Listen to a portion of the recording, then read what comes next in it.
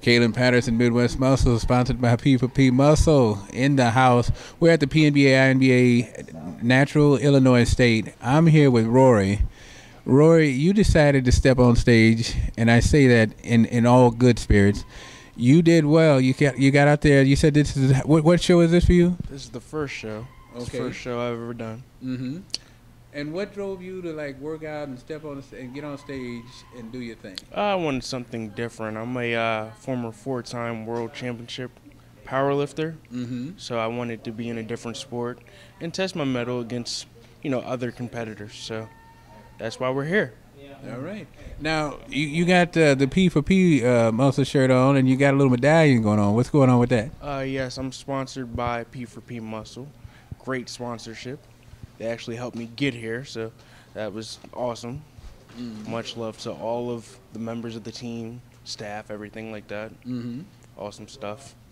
And I noticed you had uh, Meshach, uh, the Natural Universe champ, back there helping you out backstage. Oh yeah, he was great, man. He, yeah, owed me up and everything, man. That's just, it's awesome. Only in bodybuilding does that sound right.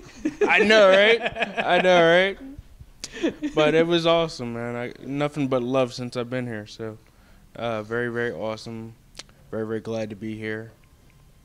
I'm just enjoying myself. I'm actually enjoying the whole Chicago experience. All right. I came all the way from uh, Delaware. oh wow. I got on a flight at 6 a.m. Friday morning.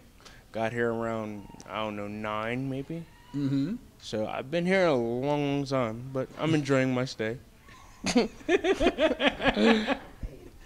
Well, you, you represented out there well. I mean, you, you, you were you were actually eager to get up there, and um, I think the show couldn't start soon enough for you. Uh, yeah, you know that's that's just the way I do things. You know, when I come and I do something, I like to do it. I mean, you know, but this is definitely not the end. I've got at least two more shows I'm doing this year, so Okay. definitely gonna be tighter, harder, drier. Mm-hmm. You know, the best is yet to come.